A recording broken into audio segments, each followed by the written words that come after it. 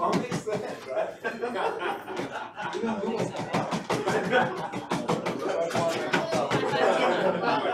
That's what I said. Who's mine? You just went short.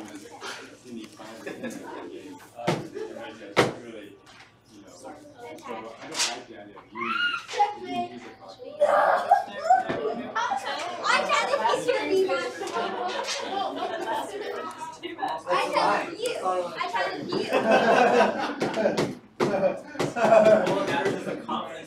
Yeah. Hey, I tried to you your mouth. What are you doing not tonight? Have you ever seen that in Classic? Take that. Uh, Young man, I win. I challenge anyone who wants to play me to a match. No, you gotta cut. It happens all the time, right? They just declare checkmate, and they just take the word for it, and the game's over. You go to the game later, and you're like, why did the game end? Me. You know? Okay, guys, I'm gonna, uh, start.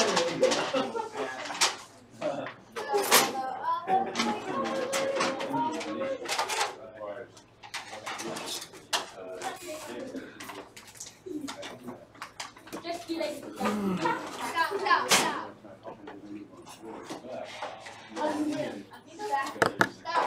Hey guys, guys, you're gonna have to stop the game. Okay, you can play in the Skittles area if you want, but we can just close the door in between.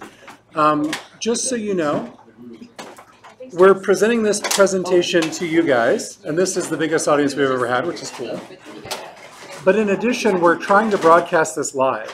So actually, there's a stream on YouTube right now where, I don't know, dozens, maybe hundreds of people are going to be watching this live. And then later on, this will be recorded and put on the YouTube channel, and, and, um, and you'll be able to look back at it later or show other people and say, look what you were a part of, sort of thing. But anyway, uh, because of that, um, you're going to have to stay fairly quiet, okay? Because the sound that you make can be picked up by this pretty sensitive microphone, and everybody will hear it, and it will be part of the recording, and it'll, you know, your your silly joke or whatever will be stuck there for eternity. So, um, let me give you a little context about how this lecture happened. Um, at our last lecture, which was on Akiva, Akiva Rubinstein back in April, we always ask people who attend for suggestions about what we want to cover. And the request for this time was uh, the history of blindfold chess. Okay, so history of blindfold chess. So I, um, I was at Super Nationals and Timur was there. Sorry, let me get this book that I used. Timur was at the at Super Nationals, and I tried to meet up with him, but you know he was kind of, as you might imagine, getting mobbed by hundreds of kids wanting his autograph and adults. And um, so I wasn't really able to chat with him, but I was able to get in touch with him by phone, and I said, "Hey, I am an amateur chess historian preparing a lecture on the history of blindfold chess, and um, I thought it would be really cool to get your take on the history of blindfold chess because here he is, the current world record holder in blindfold chess, which we'll get to. And and he was very forthcoming, giving me all sorts of answers, you know, about what he thought of kind of the history of blindfold chess and the practice and all that. And and I thought it'd be really interesting if we could get him here to participate in the lecture. And he said, well, you know, that's an idea, but he said, I have uh, another idea. What if we tried to set a world record?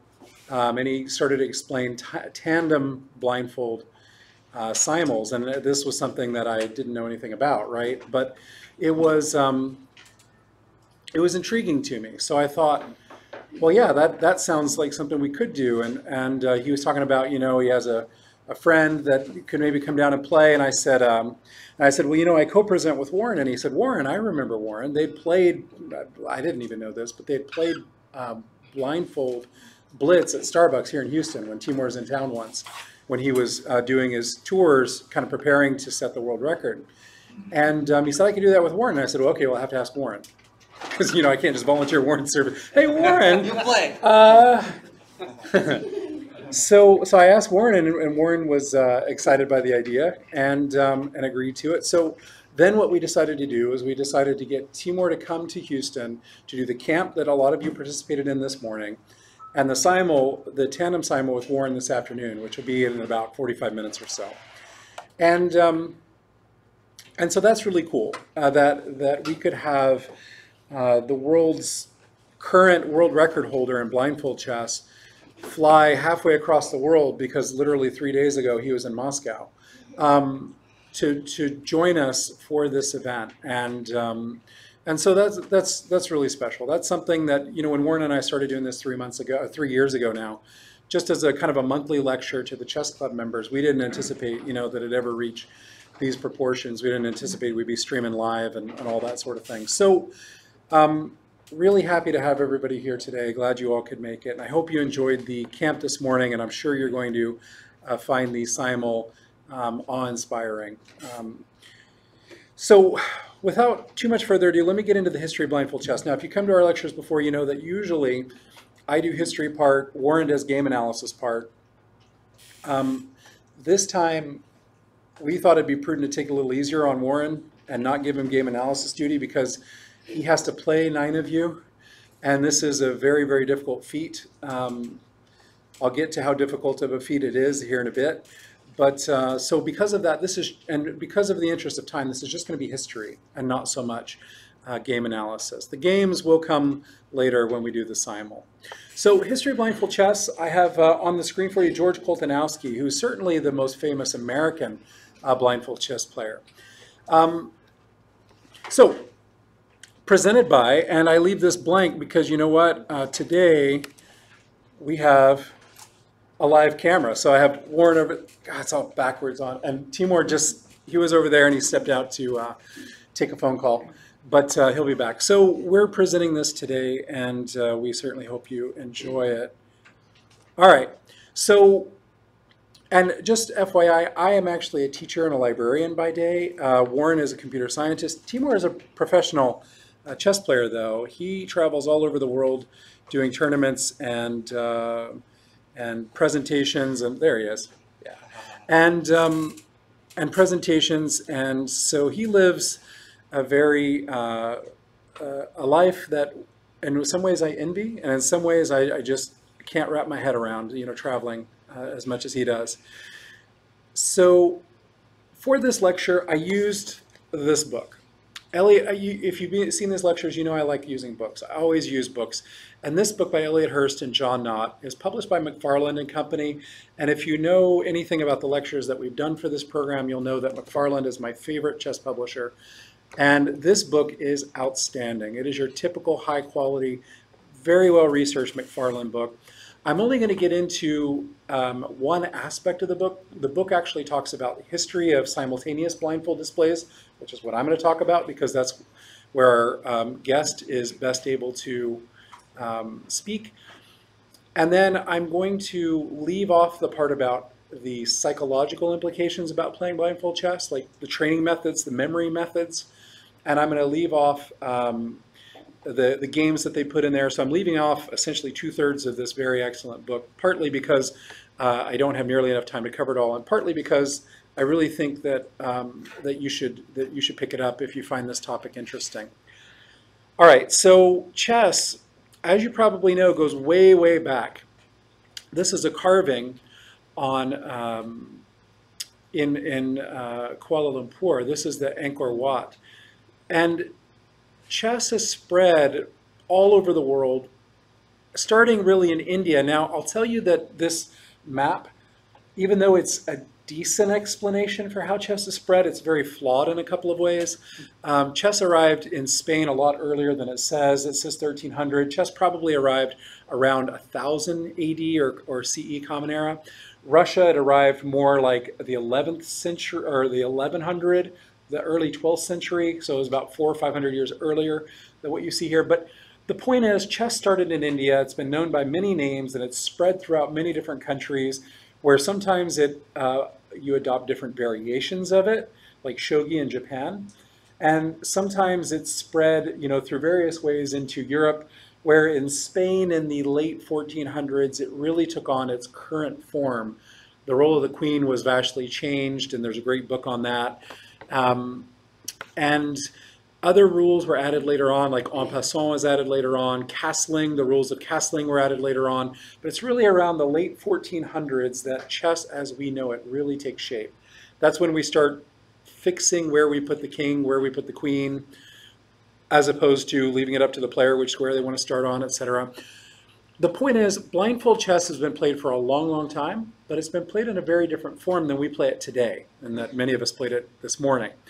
So if we look back, maybe the first blindfold player we can find in history goes back to Persia, 700 AD, 700 Common Era. Now, sometimes when we look at people who play blindfold in antiquity, or in the Middle Ages, I should say, this is the Middle Ages, not antiquity, they actually played a variant of blindfold chess where they touched the pieces to feel what was where. They didn't look, but they touched to feel, okay, that's a bishop or a vizier or whatever they called it. That's a, uh, you know, a rook or an elephant or whatever it was called in, in that particular culture. And they, um, they made their moves that way. Later on, or during this time, some people were able to play without touching the board just by remembering, remembering the pieces and calling out their moves.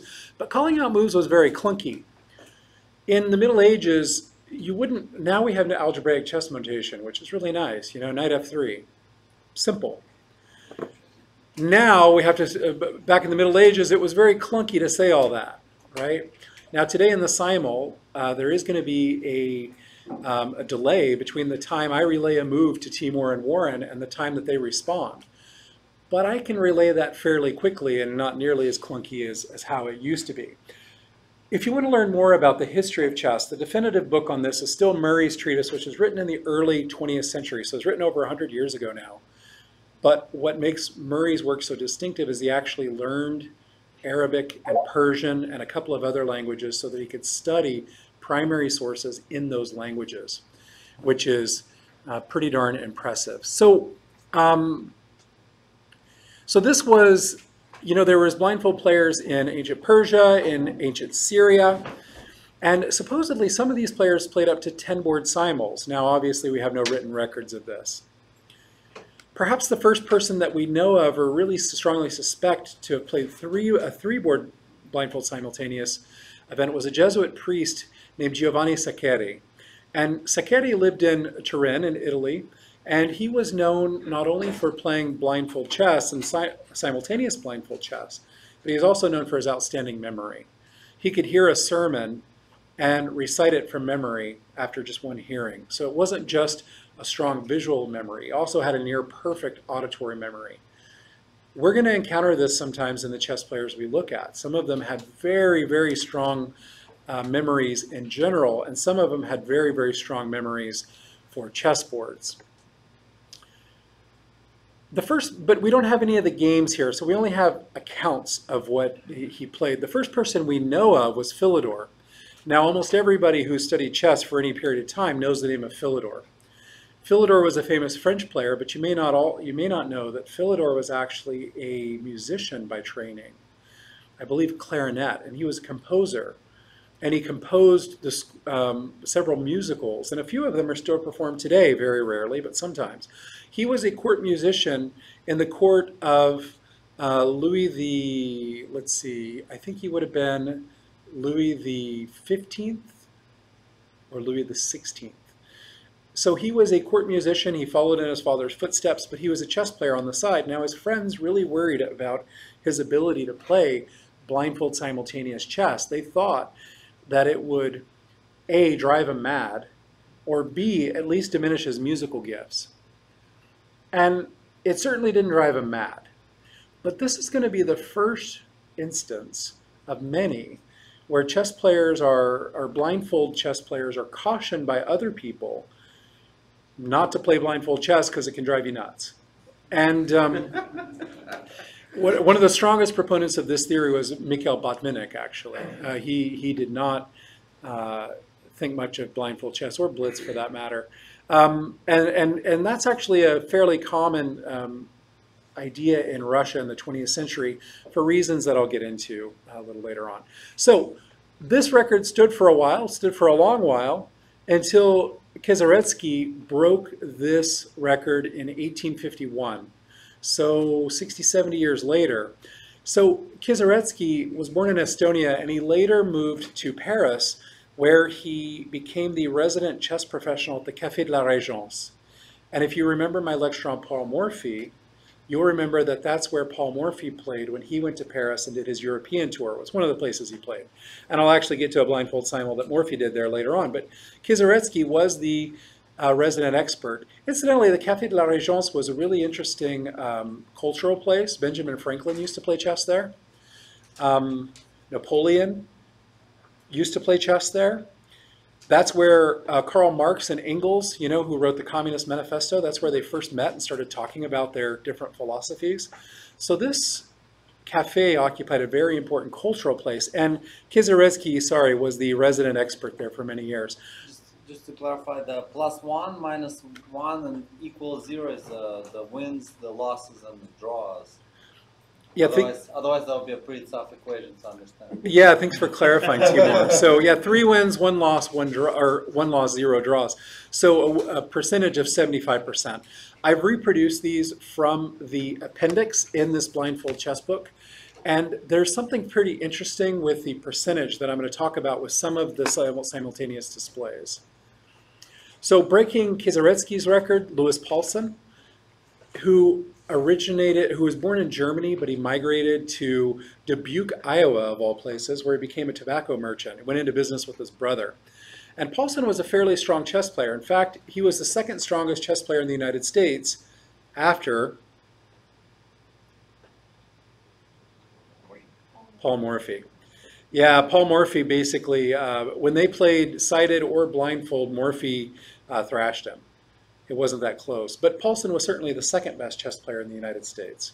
And he made his mark as a blindfold player. So his first exhibition that he, where he broke the record, 1857, not too long after Kieseritzky, and he had a good percentage. He went on to improve upon this, breaking his own record in Dubuque, Iowa, where he lived. Now, this simul actually took two days. What that means is they adjourned it. So they reached a certain position, they adjourned it. He promised not to analyze the games in between. And when they came back, Paulsen actually called out each board and said where each piece was on each board from memory. And most of the blindfold players could do this, or, and did do this when uh, games were adjourned for uh, time reasons. So this simul took place over two different days, and Paulsen won it pretty convincingly. But as you might imagine, his competition in Iowa probably wasn't that probably wasn't that strong. Well, he broke his own record again the very next month, we think. Again in Dubuque, but we don't know the score for this, nor do we know the exact date. So I'm not going to dwell on it too much. But understand that Paulsen was constantly trying to better himself. He was constantly working to uh, improve his performance. And he would end up breaking his record, own record again in Chicago uh, just two months later. So this time we do have the game scores and we do have records of most of the games themselves. Well, actually, I think most of these games were lost to history. Unfortunately, this is true for a lot of the blindfold simuls we have. But uh, Paulsen scored very well in this exhibition. And then the very next month, he breaks his record again. So 12 board simul. And so Paulsen is the uh, certainly the best chess player in the world at this time. And I want to give you kind of a little bit of the flavor, both of this book and for the environment. So let me read you a bit um, of what the uh, the periodicals at the time said.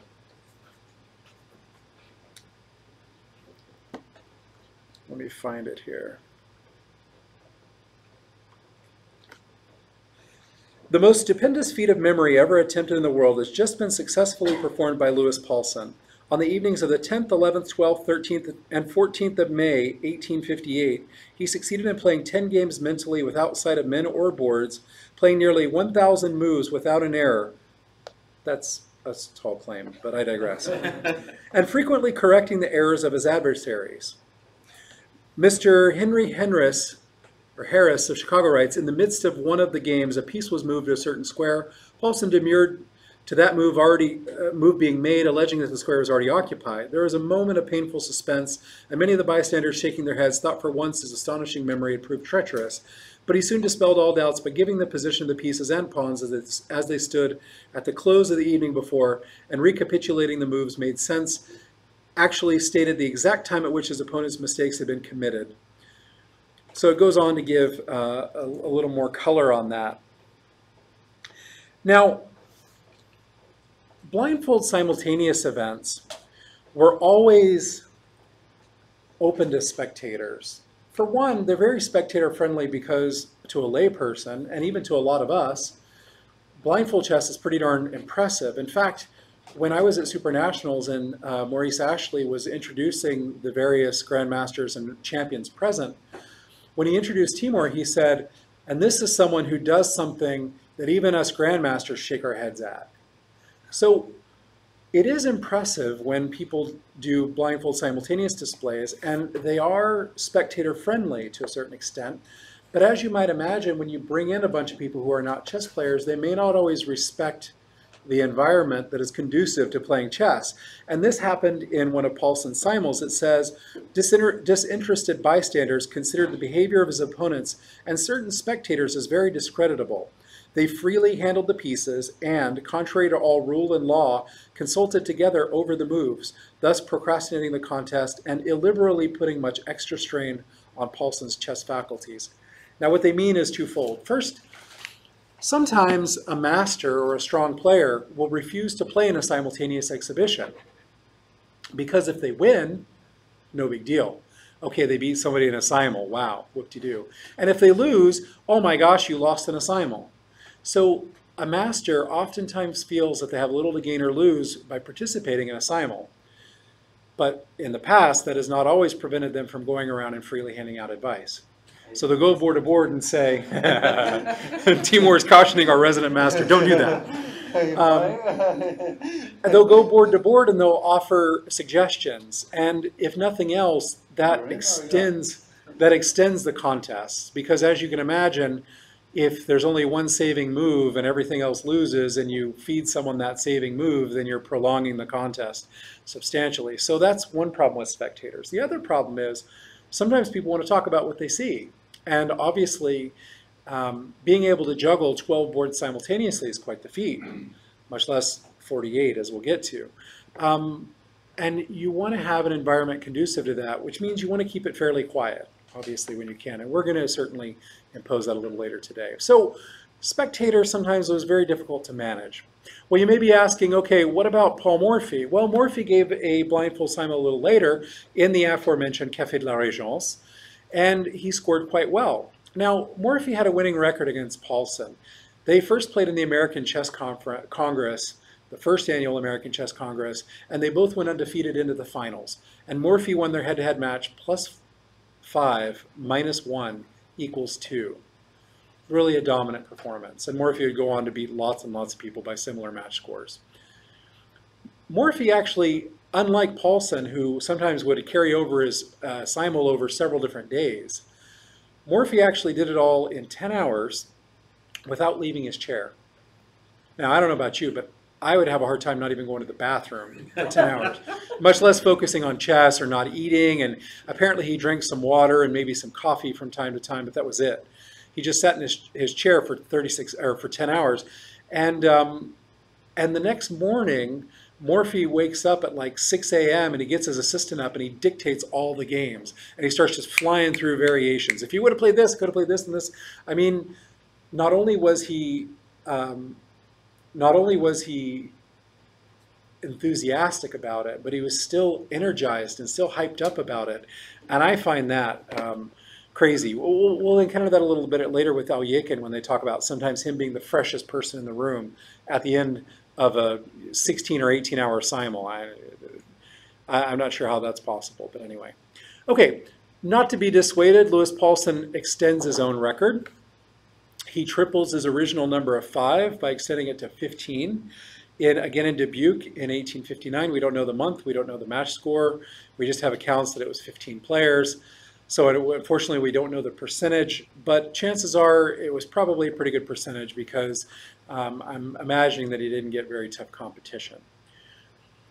You don't think much of those Iowa players, huh? I don't. I don't. Uh, I'm going to switch to the camera to record my embarrassment here. Um, I don't.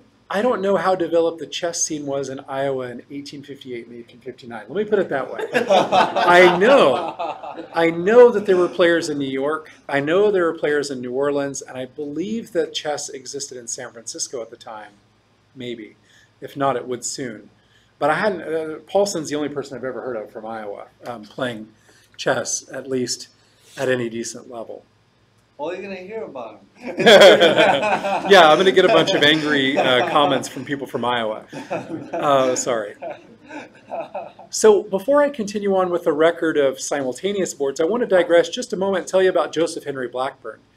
Now, Actually, I want to, I want to Oh, interrupt. uh, no problem. Note of Paulsen. Uh, another interesting historical note is that the, the periodicals back then used to ob- obsessively describe the, the vastness of Paulsen's forehead. they did. They Luke did. Might will tell you more about that, but they, they had this idea that uh, if you were really intelligent, you had a massive head, right? Because I mean, that meant your brain had to be really huge or something. Yeah, that, that was that was a thought. That's an Asian thought. Oh, Well, it's Asian as It- yeah, it was all a- Asians think that if you grow up with a big forehead, you're smart. And and this is not the first. It's not the last time we're going to encounter this. But yes, there there was this idea, and it, this is actually from Staunton, the famous chess player Staunton, who wrote, "We gather from the American papers that Lewis Paulsen is in appearance tall and muscular, his face smooth, hair light, eyes gray, compact facial muscles." And a head of prodigious size. His head is the largest of any man in the United States. In temper, he is modest, placid, and reserved to a fault. He is very abstemious, using no other stimulant than strong coffee and soda water, of which he partakes freely during play. He is further described as performing his marvelous feats with the greatest of ease and without experience, headache, or uneasiness of any kind. He has frequently assured his friends that he can play better without the board than with it. And that was published in the London News in 1858. So yeah, he had a big head, and apparently Blackburne also had a big head. Apparently he had to bring his own hat with him because he was sure that he wouldn't be able to find one big enough to buy in the United States. Because he was like a size 19 or I don't know, a, big head. Um, Blackburne actually has the record, at least as far as I know, for either classical, like sighted, or blindfold chess, in that he announced a mate in 16. So he's playing blindfold. This was the position on the board. I'm sorry I couldn't get a higher resolution than that. And Blackburne, playing as white, a, a, announces a mate in 16. And he was right. It was a mate in 16, although if Black managed mismanaged it, it would have been a mate sooner than that. But um, as far as I know, this hasn't been equaled or, or surpassed in, uh, in, in chess history. Okay, so back to our records for simuls. Now, Zukertort, you may know of for his matches in the Steinitz lecture. I talked about Zukertort. And, um, and Zukertort was a fairly strong, uh, well, Zukertort was many things. Among other things, he was a spinner of tales, let's say. Zukertort thought he was pretty much the best at everything. He was the best duelist with a gun or with a sword. He was the best card player. He was the best domino player. He was the best chess player. He was, and it's true, he was good at a lot of things. But it's also true that he exaggerated from time to time. Although we do know that he did actually achieve this record by scoring very well in a simul in London, England. It was adjourned. And um, the players were apparently very, fairly strong. In fact, none of them would have received greater than knight odds against him which tells me that they were like Class A, Class B players, so maybe like 1800 to 2200-ish in modern parlance, if you wanted to think of it that way. Now, Zukertort may have expanded upon this later. He may have had more um, achievements later on, but he died in his 40s, so he died at a fairly young age, and he wasn't able to uh, surpass this feat in his lifetime. Instead, we would wait uh, almost 25 years until Harry Pillsbury or Henry Nelson Pillsbury came along. Now, Pillsbury is known for many, many things. He's known for, um, first and foremost, winning Hastings in 1895, which was one of the biggest chess tournaments in history. He finished ahead of Lasker and Chigorin. Lasker, who was the world champion at the time, Chigorin, who uh, many would consider to be, you know, top, uh, the second best player in the world at the time. And Pillsbury beat them both, uh, finished ahead of them both. And he was also very good at simultaneous blindfold chess. He first played in February of 1900, where he equaled Zukertort's record, and then in March of 1900, less than a month later, he surpassed him by playing a 17-board simul. And one thing that's fascinating about Pillsbury is Pillsbury is a very fast player. Now Zukertort and uh, Paulsen, some of sometimes they took two or three days or four or five days to finish a simul. Pillsbury, on average, took about 40 seconds per move, sustained over all of those matches. That's a very, very fast rate. Um, we're going to see some times today where Warren and Timur are going to make moves that quick. But to average that over a course of a whole simul, that's a pretty impressive feat. Now, Pillsbury would go on to exceed this by, by uh, doing a 20-board simul, and this was actually the biggest uh, simul that he would ever do. So this was April 28th of 1900. And again, a very, very good score. Pillsbury was known for not just, he's the second player I want to talk about for his prodigious memory. Pillsbury wouldn't just be content with playing a simul where he was uh, playing chess. He would have a couple of card games going on the side. Whist was his game of choice. He would have some checkers games going on the side. He would uh, have people call out numbers or words and he would memorize them as he was going. He would stop every now and then and dictate a sentence of a letter and then come back around and dictate the next sentence of the letter. He would, he would multitask to a, an extreme sense. And actually, this is something Timur was talking about last night about, you know, maybe trying to do a similar blindfold chess thing with a, a bunch of different games going on at once. And frankly, my brain just can't, can't process that. I don't, I don't, I don't I mean, just playing one blindfold game to me is, is pretty darn impressive. But I guess once you've played 40, 48, you start looking for other challenges. Um, and I want to talk to you a little bit about memory. The librarian in me has to digress, and I need to talk to you about this book by uh, Joshua Foer, who is a, a journalist who went out to study the U.S. Memory Championship as a journalist, he wanted to cover feats of memory. So he went to this memory championship where basically you shuffle a deck of cards, you give it to somebody. They look at the deck of cards and they memorize the order and then they recite it in order. And whoever can memorize the deck of cards fastest is the memory champion. And he was impressed by the feats that these people were doing, that these participants were doing, and he thought to himself, can I do this? And so he set out to work on it. And he spent about a year training pretty intensively, and he developed a lot of techniques, some of which have been around for a long time. One is called the Memory Palace. The Memory Palace, I don't want to do any disservice to his book. He talks about the history, goes back to ancient Rome, but basically the idea of associating something with a place, because our brain works very well with remembering places. So what Foer would imagine is walking into his house and seeing an image which would correspond to a group of three cards, in front of him, and then he would look to his left and he would see another image which would correspond to three other cards. And then he would have this tour, this circuit in his house memorized, and he would just basically place the cards there mentally with these images and then just walk around his house. That's how he'd recite them in order. And what's interesting about this story, perhaps the most interesting about it is, Foer actually won the U.S. Memory Championship.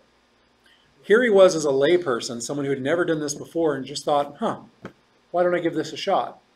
And a couple of years later, he actually wins the national championship. He memorized a deck of cards in like a minute and 52 seconds. Shuffled at random. It took him like five minutes to recite it, but, you know, just thumbing, minute and 52, that's like what, three seconds a card, something like that? That's really fast. So anyway, excellent book. I'd highly recommend reading it. Um, digression ended. Let's go back to Pillsbury. I said uh, I said that he stopped at 20. I was mistaken. He actually stops at 22. Let me get to the 21st though. Okay, first, look at the score. Plus 3 minus 7 equals 11. Now, on the surface, that looks bad, but let me explain this. Pillsbury was playing in a tournament in Hanover, Germany. And at the time, they often had tournaments with several different divisions. Master division, which is what he was playing in. Then they had like the um, candidate masters, if you will, and the experts. They had like Division Two, Division Three. What Pillsbury did is on a rest day, he challenges 21 people from Category Two and, ca and the best players from Category Three So these are all like experts to a blindfold simul, and a lot of people, including Koltanowski, claim that this was the strongest opposition anybody's ever faced in a blindfold simul. So when you look at it, yeah, his score wasn't that great, but this certainly goes down in history as a really maybe the toughest feat ever attempted because a it was on a rest day, and apparently he went back the next day and just played his, his classical match just like normal, um, and b he was playing against the strongest players from divisions two and three. So um, that, that's that's quite the challenge. That's actually a really strong challenge, even in a standard sighted simul. If you were, you know, if if Timur were to sit down 21 um, players from like 1900 to 2300 and play them all sim, you know, on, as a simul at the same time, that'd be a really tough feat, right? Um, so you can imagine blindfold to be even tougher.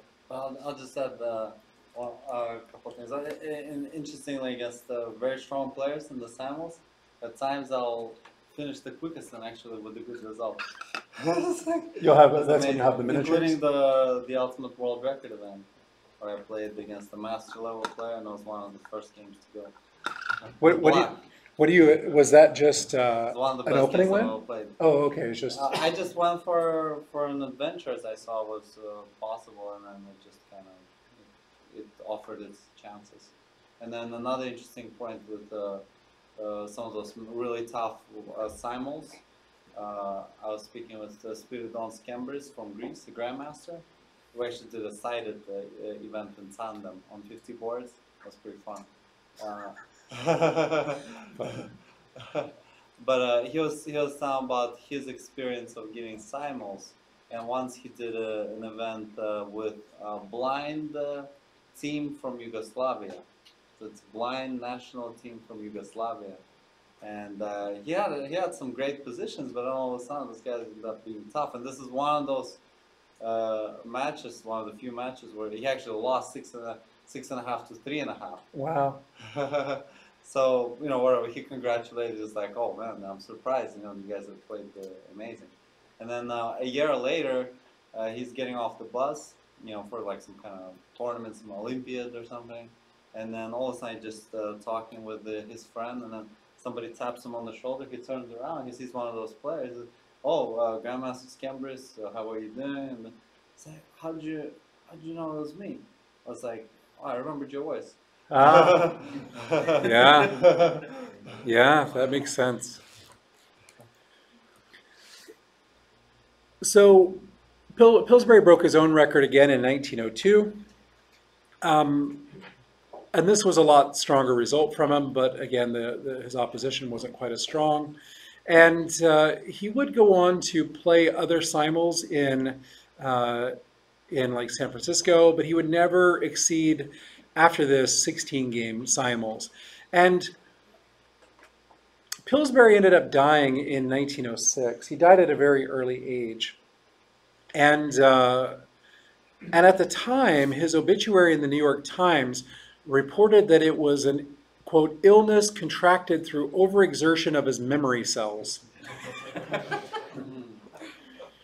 that was the party line, or that was, that was uh, what they maintained. And this actually created part of the stigma around blindfold chess. Well, it killed Pillsbury, you know? this isn't what killed Pillsbury. Uh, Pillsbury died of syphilis, which, uh, given our, our, our PG audience, I won't explain how he contracted it, but I'll say it was in Moscow in, in uh, 1895. And it developed, uh, and he ended up dying of it about 10 years later. His family, for obvious reasons, didn't want that stigma associated with his name. And so the, the, um, the papers reported it was, you know, overexertion of memory cells, whatever the heck those are. So the first person to break Pillsbury's record was uh, Richard Réti. He did this in the Netherlands in 1919, right after the end of World War One. Now, I should mention that um, there was a Soviet player named Ostrogsky who had apparently done a 23 board blindfold simul. And this is why probably why Réti chose to do a 24 board simul, but the authors of blindfold chess don't recognize that as a record.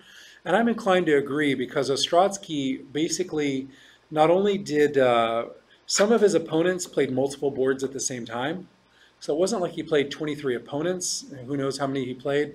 And uh, some of the other circumstances around that match are a little suspect. So they get into it in the book. I don't need to reproduce it, but that's probably why Réti instead went from 24 to 20, from 22 straight up to 24. Now, Réti was fairly notorious for. We talked about Pillsbury having an amazing memory.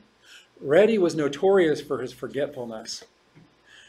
Réti would forget his umbrella, his briefcase. Apparently, he had this yellow leather briefcase, and if you found his briefcase, it said that Réti. It, it indicated that Réti was no longer there, but it was evidence of his passing. Like he par- apparently lost his briefcase all the time, and people had to, you know, track him down. Oh, you know, Grandma or uh, Grandmaster Réti or Mr. Réti, you've forgotten your briefcase. Um, this apparently bit him pretty hard, and his his brother wrote a biography of him, and his brother claims that Réti lost his PhD dissertation, his one and only copy of his PhD dissertation, right before he submitted it, and so Réti did not obtain his PhD in mathematics, and apparently he was so distraught over this he even considered suicide. Um, fortunately for for everybody in the chess world in general, he didn't go through with that, but the point is, he had a actually a fairly poor memory for some of the most mundane things, but he was a brilliant, brilliant chess player. Which, um, so I've given evidence supporting the fact that sometimes blindfold simultaneous players have prodigious memories, and now I've given a counterexample. So there's a spectrum here, if you will. His record was shortly broken by his friend uh, Julia or Julius Breyer, originally from Slovakia. And Breyer, along with Nimzovich and Réti, were kind of the fathers of the hypermodern school of chess. You've probably seen his name on various books. He helped co-author them. Breyer had a prodigious career, but unfortunately it was cut short by tuberculosis at the age of 28. So kind of like Pillsbury and kind of like uh, Zukertort, you know, again, lives cut short. And there are plenty of others that could have been cut short, but that were not.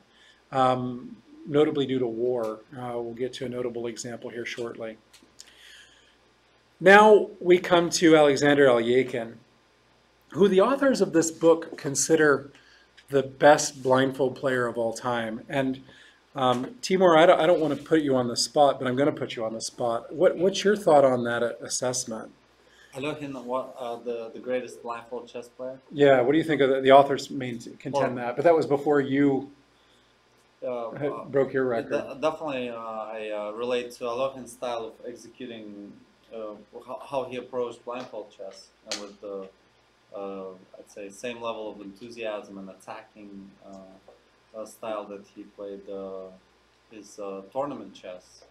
Uh, and I'll definitely give him credit for you know, accomplishing uh, the level of uh, uh, achievement that he was managed that he managed to pull off in, in his battle also with Koltanowski, who you know they were stepping, you know, kind of going hand in hand, you know, accomplishing their records. It's obviously a different style, uh, different number of games. I Mhm. mean, which is at that point uh, that was. Uh, I think 26, His ultimate, yeah. Well, his ultimate. Uh, this uh, he started with 26, and then he Ended ended, with- with 30. 34? 34 was Koltanowski. Oh, so it might and have 36. Been, might have been no. Uh, 35. Uh, did get uh, Alekhine eventually. Oh, yeah, yeah, yeah, he got 34. So he, I So- think uh, Alekhine finished at 32 then. But I guess you know the style with which he played, uh, the his actually his circumstance in life. When I visited the museum uh, in uh, uh, in Russia, it's a museum of chess, and they, they were talking about uh, you know 1921 when the, S- uh, the Soviet army came in and then the royal rule was uh, uh, uh, uh, taken over, or what do you call that? Uh, Ousted or. ousted. Yeah, the oust happened. Uh, the a lot of the, people of aristocratic descent uh, were persecuted, and so was uh, Alekhine. He was uh, actually he was about to uh, take a ship. He was about to uh, take off. You know, flee to Western Europe, and he was uh, captured Mhm. and he was imprisoned. He was about to get uh, Executed, yeah. executed, and his friend, uh, uh, one of the chess friends, found out that that, that was the case, and he kind of somehow was able to uh, bail him and get, get him out of there, and then eventually he was able to survive and continue his practice and you know continue his uh, you know feats in tournament chess as well as blindfold chess. It's, it's been almost three years now, but we did do a, lec- Warren and I did do a lecture on Alekhine where we get into uh, the Russian Revolution. And if you're interested in the, the history aspect of it, you can certainly, uh, you can certainly uh, look for that on the channel. Um, Alekhine was, Alekhine actually got a start in blindfold chess by watching the exhibition that Pillsbury gave in Moscow way back several slides ago. Alekhine was a spectator. He was not a participant. He was a spectator in that, and he watched Pillsbury in his blindfold feat. And Alekhine started um, playing blindfold chess mostly because it, um, his parents took his chess set away at night so he'd go to bed. Although he, then he would just, you know, imagine it. And then at school, his teachers would take away his chess set too, so he wouldn't, you know, so he'd pay attention in class, but he would just whisper moves back and forth with his classmates. So by the age of 16, Alekhine talks about the fact that he could do basically a five-board blindfold simul without too many difficulties. So it was part of his training regimen, if you will. And um, at this event in New York, it's really interesting because the opposition was very, very strong. Some people consider this particular simul, this 26-board simul, to be the best simul ever given just because of the strength of the opposition. I'll read you a little excerpt about it. The seance, as usual in America, was excellently organized. However, it came as something of a surprise to me that the composition of my opponents was unusually strong. So this is Alekhine writing. Suffice it to say that on the first 11 boards there played first-class amateurs, the best representatives of Manhattan and Marshall chess clubs. Of names now known on the international scale, such people as Kashdan, Herman Steiner, and Kevitz could be mentioned. For this reason, one has to call the result 16 wins, 5 draws, and 5 losses entirely satisfactory. Um, as a correction Alekhine, Kevitz didn't actually play, but a couple of other strong players like Pincus and, and Thulfsen did play, and the authors of this work uh, do excellent scholarship to point that out. Now, the simul lasted uh, about 12 hours, and there was just a short break for Alekhine to have dinner, and uh, and that's it. Afterward, he um, uh, he adjourned to uh, to have some some uh, a light meal and um, and replenish apparently his uh, cigarettes, which he kind of uh, was known for chain smoking during his simuls. So um, Alekhine beats the record, and I want to point out something about Alekhine's style.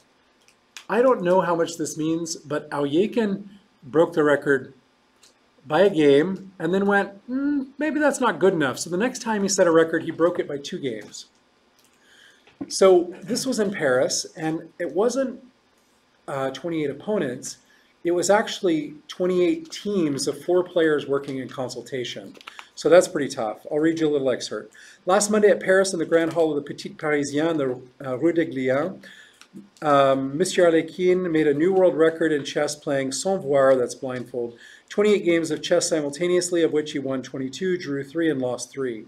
He sat on the dais of the hall in a big armchair with his back to the opponents who were seated at two long tables and a cross table in the body of the hall.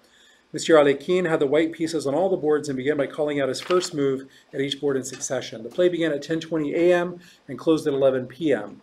The players were drawn for, from chess clubs in and around Paris, and arrangements were made for substitution at suitable interviews. Uh, Mr. Alekhine, having decided to play on virtually play on virtually without break. One woman player refused offers of substitution and remained at her board for some 12 hours on end, losing at last.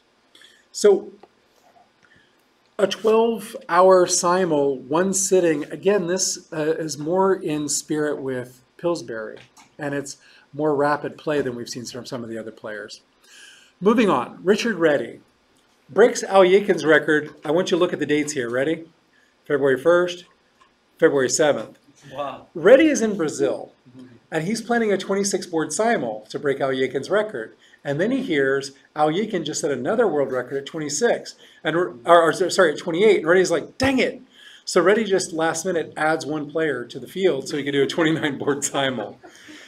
And later on, the two would. There was this discussion in the press about who the world record actually belonged to, because Alekhine had the better percentage. He had the higher number of wins, but Réti had the higher number of boards. And you know, we could debate which record is more meaningful. but it's kind of moot in uh, hindsight because this was broken um, several years later by George Koltanowski. We've, we have Koltanowski on the um, title slide, you saw him. And Koltanowski was born in Belgium, migrated to the United States, became a very famous American chess, not just player, but ambassador. He wrote chess columns in San Francisco for almost 50 years. And he toured all over the country. I know we have one person in our audience who actually had the fortune of playing him in a simul. Was that a blindfold simul? Yeah, blindfold simul. Uh, Um, huh? uh, and we won't ask when you that look was. a little bit like? We won't ask when that was in, in deference to uh, anonymity. Know but- what, what made this uh, particularly glorious? You know, you have that match uh, Leuchen is doing, and like it probably had like you know thousand people or something. Because now, now everything is like on TV and YouTube. Or back there, it's like you either stare at the wall or you can like you know go and like you know check out this like incredible feat happening. And also interesting point is like when when they did their when they set their records, uh, the news traveled right. I wonder how that uh, like newspaper communication. I don't know. was it- Telegrams. Was it the pigeons who like? I don't know how to how to figure it all out. yeah. Yeah. So Alekhine wasn't really interested in. Uh, Alekhine had won the world championship since he had set his blindfold simul record. He had beat Capablanca in their match and then defended against Bogo Yobov a couple times. And he, he didn't really show much interest in the blindfold simul record. But this changed when the World's Fair was occurring in Chicago. And they invited Alekhine as kind of their guest of honor and they wondered if he would, as part of their Century of Progress exposition, they wondered if he would play uh, a 32 board uh, blindfold simul to break the record. Now, at the New York simul that Alekhine did, his teller, the person that he called out the moves to and making the moves on his behalf, was Maróczy, Hungarian grandmaster. At this event, the person making the moves and calling them back out to him was Emanuel Lasker, former world champion and grandmaster. So, um, I'm sorry, Timur and Warren. I'm I pale in comparison to them, but I'll do my best. but um, but this was an impressive finish, and um, and after this, Alekhine was able to reclaim the world record, and he said at this event that he thought he could play 35, 40, even a 48 board simul, blindfold simul. He thought he could, his memory could hold that many, but he never had the opportunity to play that many. Instead, um, he went to Puerto Rico and he offered to do a 40 board simul there. 40, 4-0. And the players at the Puerto Rico Chess Club in San Juan said, no, we'd rather a sighted one because it was like 10 o'clock at night and they didn't want to stay there like, you know, all throughout the night. They wanted to For a week. Yeah. So Alekhine beat them all in like, or most of them all, I think there are a few draws, in, in like two hours instead of 12 hours, and they all got to go home. But um, interestingly enough, Koltanowski is going to come along and, and break Alekhine's record, but I want to tell you about something that Alekhine and Koltanowski actually did together. Um, Alekhine did played a tandem blindfold simul with Landau, a, um, a Dutch chess master, Salo Landau, where they alternated moves. And the authors call this leapfrog chess or piggyback chess. We're going to call this tandem blindfold chess today. So they did this without consulting with each other. They played six boards and they went plus two minus three equals one. A couple of weeks later, Alekhine teamed up with Koltanowski in Antwerp in Belgium for a similar tandem display this time um, on six boards with several strong players comprising teams at each board. And they went plus three minus one equals two. So the blindfold tandem record, if you want to consider it as such, was six boards until uh, Timur broke it with Marc Lang um, a year or two ago. A year ago? Oh, that was a couple of years ago. A couple years ago in, in Germany. 2015, yeah. and what we're going to try to break again today. But to give you a feel for how hard this is, um, Alekhine believed that Koltanowski was the second best blindfold player in the world. No doubt who he thinks was the best, okay? Himself. But, um, but Koltanowski was really apprehensive about playing with Alekhine because he was such a strong player. Koltanowski probably reached about IM strength. He was never a GM, a strong IM, but never a GM. Alekhine was the equivalent of a super GM. Pretty intimidating to be paired up with somebody who is um, who's that strong of a player. You don't want to screw up their game, you know. Um, but Koltanowski said that he was much more tired than if he had played 30 regular simultaneous blindfold games. Six tandem blindfold simul games for Koltanowski was harder than 30 individual blindfold simultaneous games. Afterward, Alekhine proposed to Koltanowski, hey, we should go on tour. We should go do these exhibitions around, around the world. And Koltanowski said, no, no, it's too hard, right? So to give you, this was six. Today we're attempting nine, just to give you a feeling for uh, the challenge that Timur and Warren have set for themselves. Koltanowski, I'm, sure you're gonna get. to No that, pressure. But, but he's, he certainly uh, uh, was uh, famous for exaggeration, That's true. uh, like some incredible stories, which a lot of people love them for. Yeah, yeah. yeah. He he loves spinning tales, a lot like Super his Tour. knight tour, which was quite incredible in itself. The blindfold knight tour. yeah. Yeah, yeah. You give him a square, he'd start a knight there and then visit all the other squares without repeating any squares. So um, I mentioned Koltanowski. He broke the record in uh, Scotland in 1937 with a very strong score, no losses, 10 draws. However, this is something I haven't talked about until now, but the authors point out 47.1% of the games played ended in 16 moves or less. What that means is sometimes his opponents would forfeit early, they would resign early, and sometimes they would offer a draw early, and he actually accepted some of those draws. So the authors of this book make the point that sometimes these displays are somewhat tainted by the percentage of quick draws. And they look at the number of, or results, they, number, they look at the number of results at 16 moves or fewer. And they consider anything below 10% of the total number of boards to be a, a fairly good, uh, uh, viable attempt. Anything over 10% is suspect, and 47.1% is really suspect. So that does tarnish a little bit the uh, idea there. Okay, um, going up from Koltanowski, we have to go up way up, and we have to go to Miguel Najdorf. And I, we got about 10 minutes. We're almost done. Sorry, we're going a little long.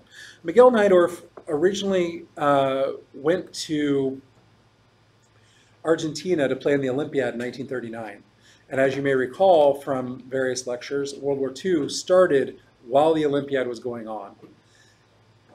Several of the teams, uh, like the English team, decided to go back to England uh, and just forfeit the remainder of their games. Some people decided to stay in Argentina. Najdorf was one of those people because Najdorf was Jewish, and he knew that if he went back to Europe, he would face persecution and um, and perhaps worse. So he stayed in Argentina and he made a life there. And sadly, uh, and I talked about this in the Zurich 1953 lecture, Najdorf had a wife and daughter who died in the Holocaust. And he lost a lot of other members of his family and a lot of his friends as well. But while he was in Argentina, it was very hard to get news back to Europe. Very, very hard to let his family know that he was okay and, and uh, give them a way to reach out and, and contact him. And so what Najdorf said is that he did these simultaneous displays, this one and the next one, to get news back to Europe, to try to reconnect with his family and friends to find out uh, how everyone was doing. He thought that this would get a lot of publicity and that uh, particularly in strong chess playing countries like Russia and other countries in Eastern Europe, and he thought maybe he could uh, get press accounts and get word to his family that way. Uh, we don't have any evidence that he did. But he did do this simul in Argentina, finished very strongly. But a lot of people did not consider this the world record. In fact, um, until 2001, most people considered that Koltanowski's mark of 34 was the world record. It took really the scholarship of these two authors and some, um, some helpers digging through eyewitness testimony and digging through newspaper accounts in Argentina to prove that this actually occurred and to find a lot of those games that were played. So we now accept that Najdorf broke Koltanowski's world record, but Koltanowski basically went to his grave maintaining, and justifiably so, that he was a world record holder because there wasn't enough adequate proof to the contrary. But now we have that proof. We know that Najdorf broke the record at 40, and crazily enough, he went on to 45 uh, a couple of years later after World War II. After this, Najdorf didn't do any blindfold simuls that we can find at all.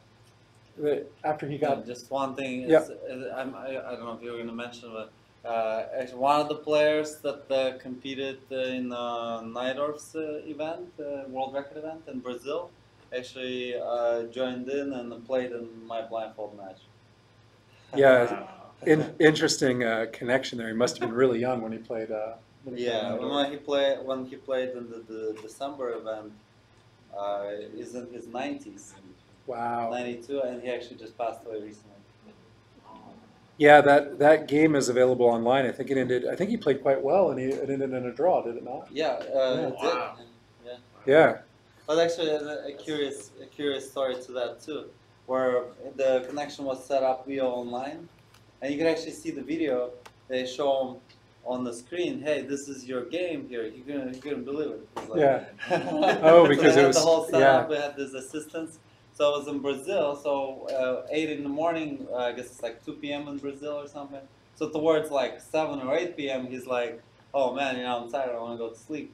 And then the game actually was one of the last ones, like in the top 10 last games to finish in my event. So I was like, man, this guy is like, you know, resistant. I won a pawn at the beginning, and eventually I ended up uh, for uh, uh, down a piece for one pawn. And I was like, okay, a draw, which was quickly accepted. But it turned out uh, the his assistant who set it up, uh, uh, Albert Silver, he's quite active in the, the publicity. He you know, after uh, Luciano got tired and went to bed, he's like, he took over the game. Then Albert got tired several hours Wow. later. He gave it to his assistant in India. Played. So Najdorf broke the record convincingly, and uh, this simul apparently took almost 24 hours, 23 and a half hours, no adjournments. So this introduces the idea that simuls, blindfold simuls, are not just a test of your visualization. They're not just a test of your chess playing ability. They're a test of your endurance. And oftentimes, people who are training for these will will will train by doing a lot of cardio. And I'll, we know that you know ever since maybe Botvinnik, um, cardio and exercise has been a big part of professional chess players' regimen. You know, we know about Kasparov's runs along the beaches of Baku. You know, we know um, about Timur's ultra marathons, as if uh, as if it's not incredulous enough. Um, we we know that endurance plays a very important role in this training in preparing for these, not just for the endurance, but I think maybe for the mental aspect. And um, and and that's something I'll, I'll let Timur explore more uh, here in a moment. But let me tell you about, whoops, let me tell you about since what's happened. Okay, uh, Janos Flesch apparently played a 52 board simul, but we don't consider it a world record because there are a lot of problems with it. So I don't want to uh, spend too much time talking about it. Magnus Carlsen's done a lot of 10 board simuls, and he plays extremely strong blindfold uh, simultaneous chess. I don't know what his uh, potential is in terms of how many boards he can handle at once, but uh, I'm sure if he set his mind to it, he could make a serious run of the world record, but there's been no indication that he has any interest in that. There used to be a tournament, the Melody Amber tournament in Europe, uh, where both players would play blindfold with just an empty board in front of them. Obviously, it wasn't uh, it wasn't really fun to watch online, but uh, but it turns out a lot of the strongest players in the world are really really strong at blindfold chess. Kramnik, Anand, you know the list goes on and on. Carlsen, obviously, these are players who play very very well at blindfold. Uh, perhaps not quite as strongly as they do in sighted chess, but but certainly very very well in uh, blindfold chess. And this is basically where this book leaves off because it was published in, I think, around 2007. And they leave off more recent attempts like Mark Lang, who's a FIDE master in Germany, who Timur mentioned earlier as his partner for uh, the blindfold tandem simul record at seven boards a couple years back. Mark Lang set a record, he beat uh, Najdorf's mark at 46, although um, when you look at the number of draws in this, it's, uh, it's, it's a pretty high number of draws, but uh, I, I don't need to, I, I, I'm not really one to, to comment on this, but um, he had the record for a couple of years until uh, Timur came along and in December, you know, just about seven months ago, set the world record with an impressive performance in Las Vegas. And the percentage was was very strong, and obviously it um, the competition was pretty strong as well. But um, you know, there's really no reason for me to talk about this. I can just shut up and let um, the person who actually broke this world record speak a little bit about it. He's talked about it a little bit already, but um, but Timur, first maybe you could speak to the endurance aspect of it. How did you? It was 15, 16 hours. Uh, well, the total took uh, uh, the total play time. I would imagine is about 18 hours. Um, And you were on a spin bike the whole time. including including some of the short breaks, Okay. including some of the short breaks. Uh, but then including the long break that uh, occurred uh, uh, by accident. Basically, uh, it, you, do you guys hear about the the, uh, what- the thing we had going? Perhaps I heard not. you on um, Yeah. virtual chess podcast. Yeah, that was uh, basically we had the uh, after about three hours of play, which had it happened earlier, that would probably been a total mess. You know, just in terms of trying to settle the positions in, in my mind. Uh, but towards uh, yeah towards uh, early afternoon, uh, all of a sudden the alarm went off in the building. The fire alarm. It was, a, it was a great space. It was beautiful. We were actually very lucky to have the kind of environment that, that we had during the during the event. Uh, just beautiful space out there on the university campus. Uh, we had the support, security, everything just worked out beautifully. The technical hookups, there were like interesting movies going on, pictures, uh, lots of space for people, spectators to come in. Uh, my friend came in from Colorado, and he was actually it was it was tremendous that he would uh, you know constantly as I'm playing I'm like snacking on some eating some right?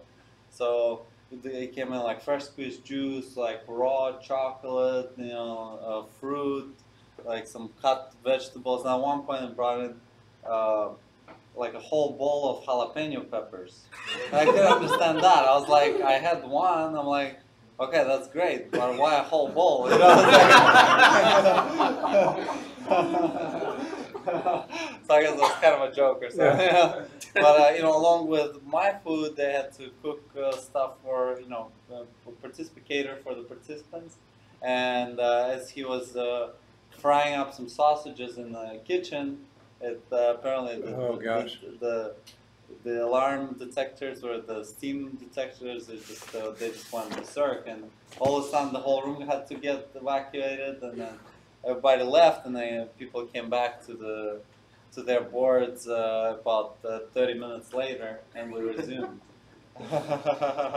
So that kind of goes to where to goes back to uh, you know the experience of uh, recounting what was happening on the on the boards uh, s- certain amount of time down the road later right so That's that's incredible. In- endurance wise, I would say um, so 18 hours of continuous play. Um, I, I feel like you know the, the spin bike a- aspect of it uh, certainly uh, helps and it make, it gives that vitality, that uh, uh, strength of effort, the strength of mind, and the rhythm to maintain and keep up a good pace. Um, I'm glad you mentioned that because when we were talking about uh, the training for cardio and I talked about the endurance aspect of it, um, it seems like when I hear you talk about it, you talk about um, the mental place that you're in when you when you play for long periods of time, and it sounds like, and I know you you practice other things like meditation, but it sounds like that mindset is really the key for you. And I think that's something that we all um, in this busy world with distractions abounding, you know, it's something we struggle with, right? I feel like it's uh, the uh, focusing on the experience of how everything unfolds, how everything's happening, is is, is particularly uh, is, is crucial. Just because uh, it's kind of like it's like uh, trying to surf or or trying tr- trying to skydive or trying to you know you work in a delicate piece and then you're trying to finish it right? Like it's it, it it's like uh, it's like a certain uh, certain uh, wavelength certain uh, um, certain uh, meditative uh, headspace that you that you're most successful most efficient with how much energy you spend because you, if you really focus in and get try to go uh, you know like Kasparov style and then just really uh, you know just several games that you can succeed but then how about all the rest of the uh, the match right? So th- this is kind of where you uh, can use your effort more uh, efficiently more uh, effectively. Having that mindset the mindset is to really encompass the whole experience and just really not resist, not try to necessarily make anything wild happen, not win right now because at times it's just like you're running out of energy. You feel like, oh, where's that final push? But they, yeah, this is a this is you playing strong players, so that'll give you a good fight. And uh, you know, you just got to continue playing like normal chess, and you'll you'll have mistakes. And the times that I did make mistakes, I felt like I was trying to get some out of that game, and especially against a tougher opponent. And uh, I missed the moment that was happening on. So I feel like the one of the most attractive parts of blindfold chess, the aspect of it is the uh, sense of presence that you got to maintain as you as you're uh, playing. You know, as soon as you uh, you know so the, the start dwelling on something else, and then you know you get distracted all of a sudden you didn't hear the move, didn't visualize it correctly, didn't think about the correct board, and all of a sudden, if uh, at first actually like maybe like small noises or some conversation or it was it was very distracting even when I was doing the small smaller events. With experience actually, now I feel like even on a busy street I can probably as long as we can communicate the moves more or less properly, I can focus and be able to to visualize and do well. Uh, but uh, you know those those uh, the distractions that you can cause to yourself are the are the most distractive ones, and the ones that, that they occur is when you lose uh, that uh, sense of presence, sense of unity with what's going on at hand.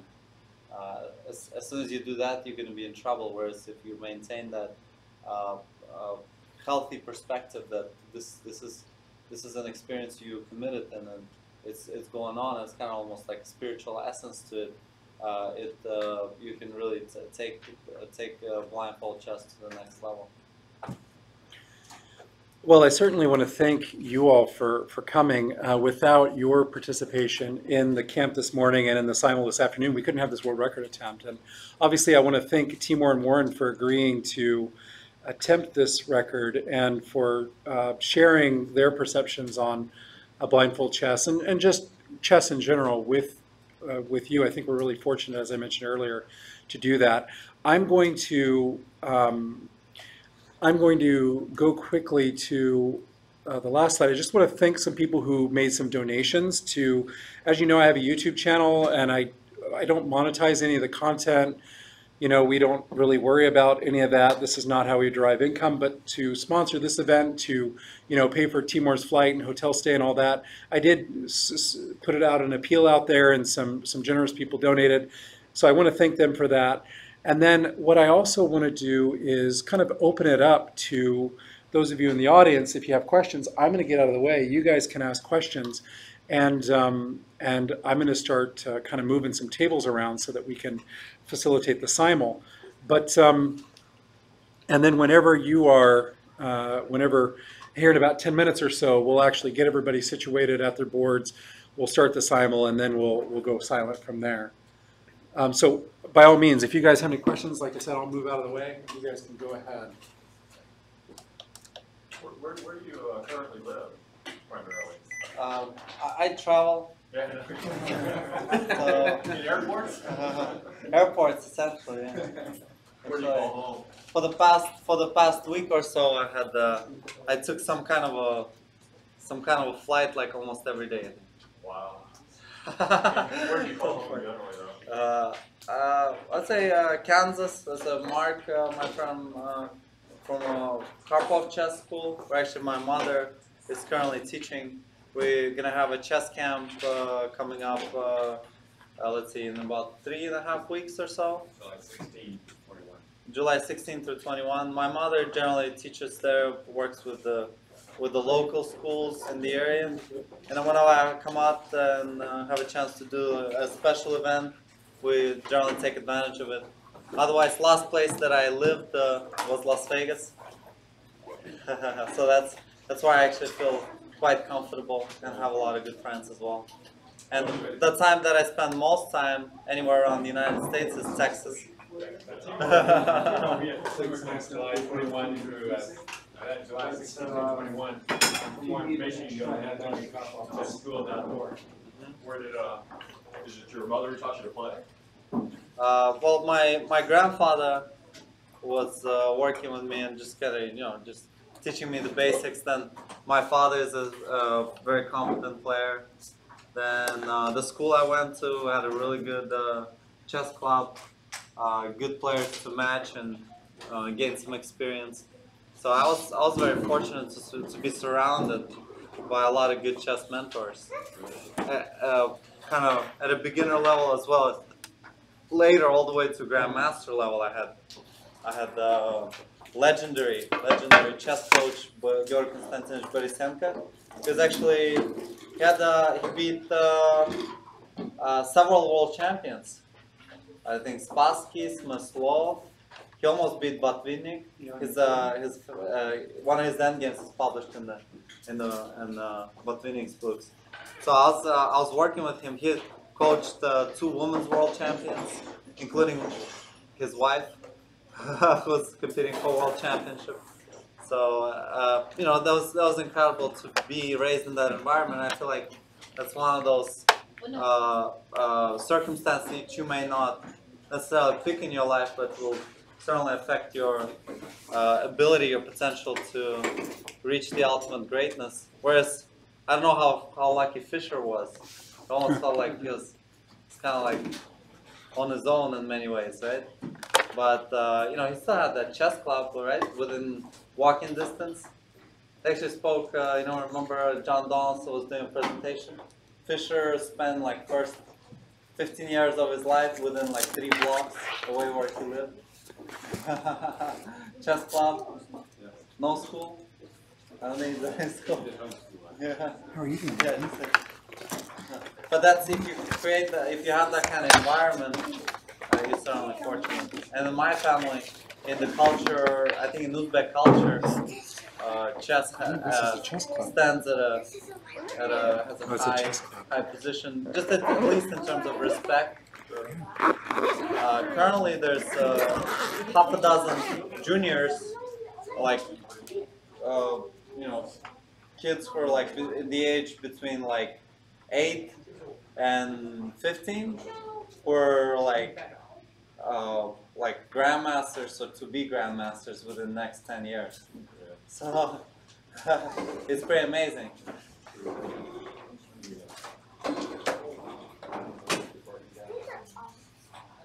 That's it. We're just about set, huh? We're getting there. Uh, would you like one table? Um, like you know, a table like this, one for each of you? Um, I think I'll probably just share one. Yeah. Yeah, I'll probably share. Okay. And then this, I think if you put the chair uh, in front of one of the legs, For the chair, I'm sorry. you could, you could either do it this way, Uh huh. because then you could put the legs between them. Right. This will be fine, or by the chair, right? That'll probably be even better. Yeah. I like this chair and uh, the, the, The the, table tables size? and chairs. It's, yeah. How light they are, huh? Queen must Thank you.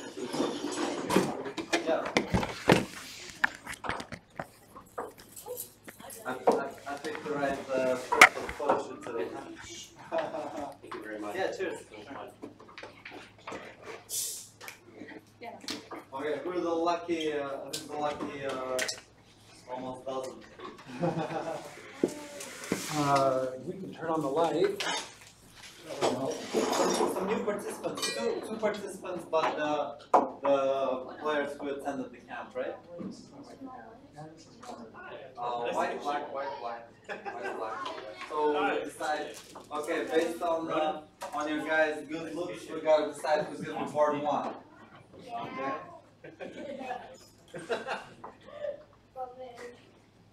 Mark, do you still have that, uh, cherry chocolate?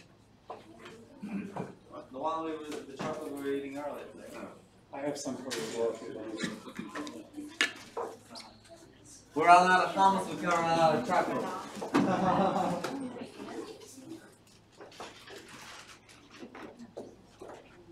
Hold on. Yeah, you get it, Warren, you get it. You get it. too. Thank you. No, there, you have, I have a portion of my picture with you. Yeah. Picture of it. Let me know if I spelled it incorrect. I hope I did. Sure. One, two.